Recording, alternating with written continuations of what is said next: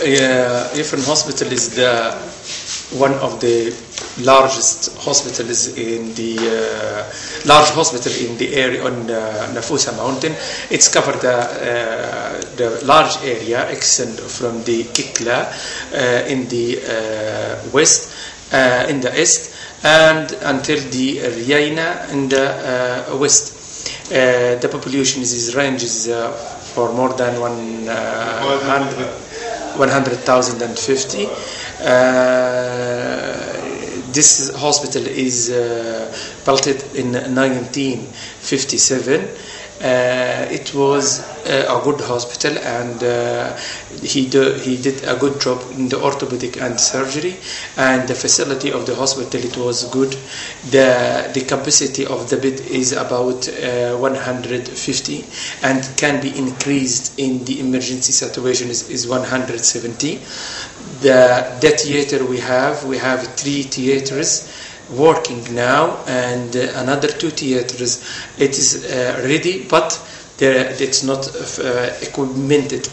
Uh, it needs to be uh, completed by the light the, the, the floor light uh, the, the roof light and the, the tables and the instrument and the operation instruments the hospital he uh, during uh, before revolution is there is a lot of the thing it's not available uh, and we don't have any orthopedic instrument any orthopedic surgeon. uh, Uh, and only uh, one Ukrainian G- uh, general surgery, and we have uh, two anesthesia and a very shortage of the uh, nurses in the different specialty.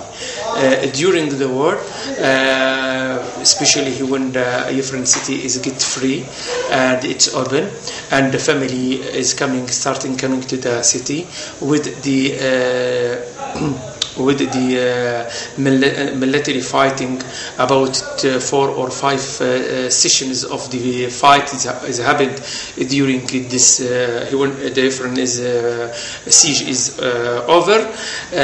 We have a lot of problems and a lot of the and we are struggling to save the patients. And uh, as uh, the staff that is available here we uh, are trying to doing our best. But you know there, there is a lot of the shortage. As we said previous there's shortage gs in the vascular and the instrument and the staff and the in the supply and the theater this would be has a negative effect on the uh,